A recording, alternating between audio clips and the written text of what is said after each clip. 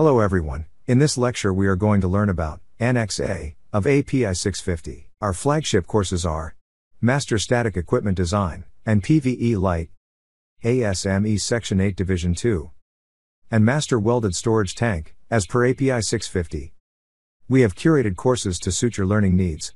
So do visit our learning platform for more details on scootoid.thinkific.com. So now we'll uh, see annexure A, which is kind of optional design of small tank. Okay.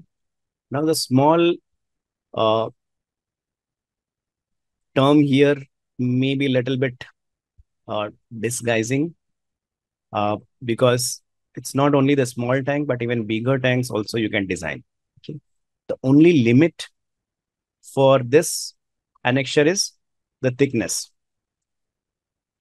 Size is not the limit, but the thickness is limit. And because thickness is limited, automatically your size becomes limited.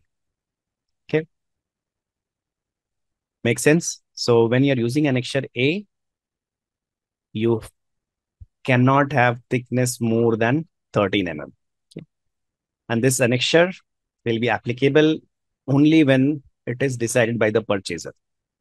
The purchaser is saying that follow this annexure, then only you'll be following it. Make sense? If anchorage is required, we have a certain calculation which you have to do. I'll show you that. So this is the tank anchorage.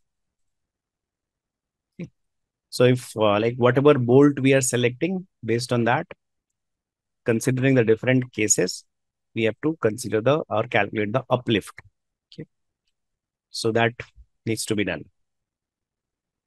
Now the second uh, important part, this annexure is applicable when the purchaser is limiting the design metal temperature above minus 30. You cannot use it less than minus 30. Okay. When you're having fine grade, then you can go up to minus 40.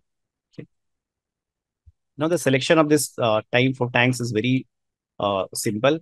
Uh, so just to give you an information that when API started, annexure A was the real standard. It started with this, okay, and then other things kept on adding, and uh, finally it became an annexure. Okay, so it was like you know if you're having a shell course, you're using 1,800 mm shell course, then based on the tank diameter, see what is the capacity you want. Then you'll be able to get the height of the tank. Getting it? So if let us see, I have 1800 plate width I want to use. And in our case, okay, like the case we designed, our diameter was 13. Okay. So 13 is not available. So I can go with 13.5. Okay. So what capacity I'll be having? 143 per meter of height. Okay. So like if I'm selecting a 17 meter, again, 17 meter is not in standard. So if I'm selecting 18 meter, then the capacity which I'll be having is 2576. Making sense? How we'll be doing the selection. If I want to follow this annexure A. So you'll be taking the standard. You cannot select anything Okay. you have to go with the dimensions which are mentioned here. Now, if you have 2.4 meter width, this is USC. If you have 2.4 meter shell courses, in that case, you'll be using the second table, which is table 8.28. Okay. And by using that, you can calculate the, select the sizes based on whatever capacity you need. Okay. So it's simple, you know, just selection based on the capacity, how it's calculated. The formula you can see here. Okay.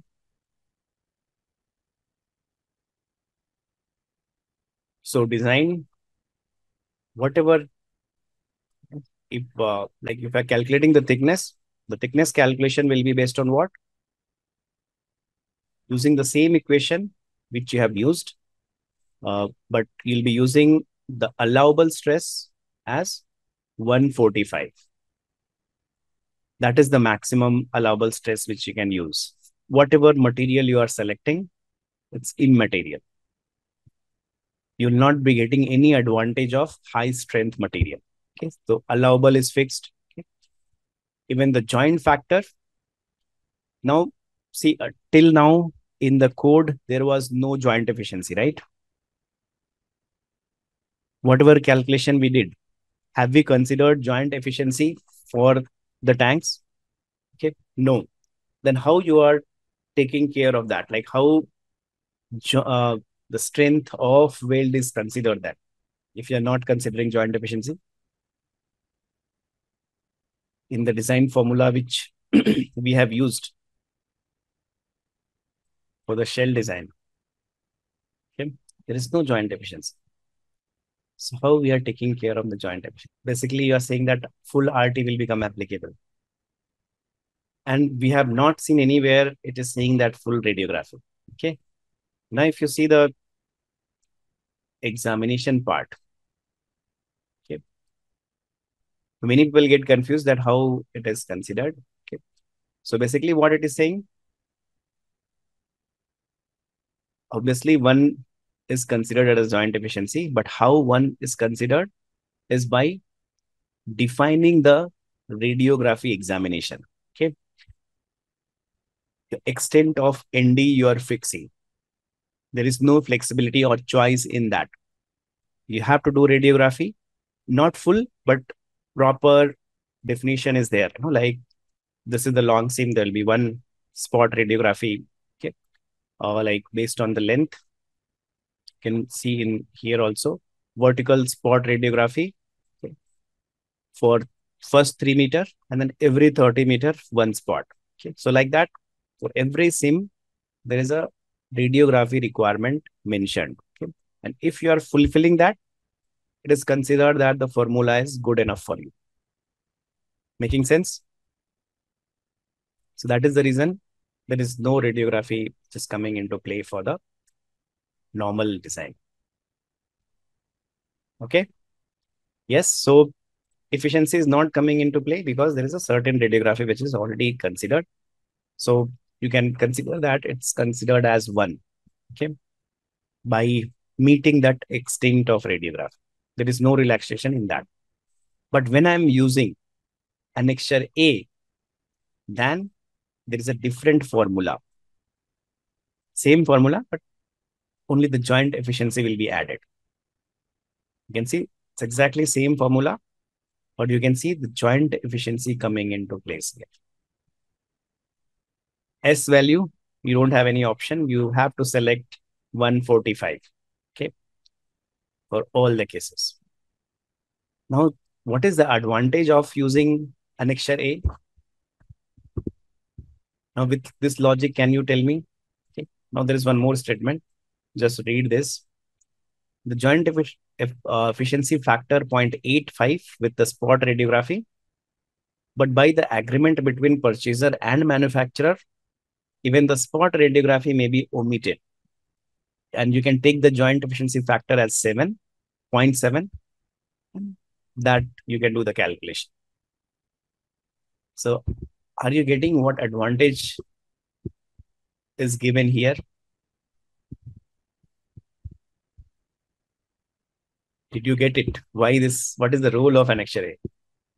Why we refer that? We refer annexure A when we don't want to do radiography. Okay. So we'll take joint efficiency 0.7. My thickness will be a little bit high. But see, these are very big tanks we are talking about, storage tanks. Even the spot radiography will take a very long time because too many wells are there. Okay. So radiography, uh, conducting radiography itself may become challenging. So if you want to omit that requirement in the general design, there is that is not possible. You have to perform radiography. So if you go to optional design and take efficiency as 0.7, you can avoid that. Making sense? So that is a use case, you know, which I'm telling you is a use case of this annexure when we use. Okay. So by using this annexure, you can avoid the radiography requirement. Okay. So intermediate wind girders mostly, you know, uh, are not required because we are considering only smaller tanks. Okay. So, but you have to confirm from get the confirmation from the purchaser. Shell and manhole nozzles will be following the same guideline, what you do for the normal design practice. Okay. So all of these, these things just follow the same principle. Okay. For in-depth training. And to learn more about these courses, register with the link in the description.